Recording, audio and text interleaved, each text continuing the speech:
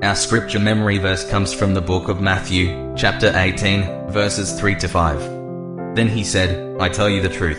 You must change and become like little children.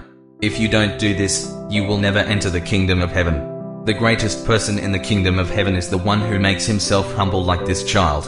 Whoever accepts a little child in my name accepts me. Matthew 18 verses 3 to 5. Let's repeat our verse. Then he said, I tell you the truth. You must change and become like little children. If you don't do this, you will never enter the kingdom of heaven. The greatest person in the kingdom of heaven is the one who makes himself humble like this child. Whoever accepts a little child in my name accepts me. Matthew 18 verses 3 to 5. Thank you for joining Mighty Sound Kids today. Please subscribe to our YouTube channel, and thank you for clicking the like button. Music and ministry for a multitude. Jesus is the answer.